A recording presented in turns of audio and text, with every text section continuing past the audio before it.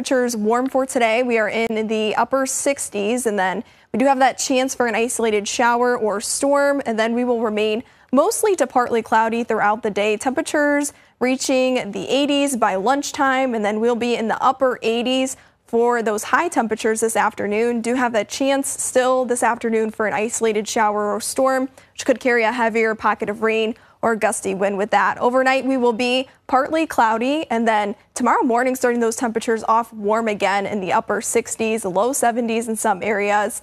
And then I do expect it to be mostly sunny throughout the day, and those temperatures growing into the 90s. We'll be in the low 90s for our high temperature tomorrow. And then overnight, Tuesday into Wednesday, that's when we're going to see chances for some scattered showers and storms, which the timing is a little unknown right now, but I will keep updating this as I get more model updates. Now for those dew points for the week, we will be high. The dew points in the upper 60s, low 70s, so you can expect it to be a muggy week throughout the next several days. Heat indexes are going to be high as well. Tomorrow feeling like the upper 90s, and then Wednesday feeling like the triple digits.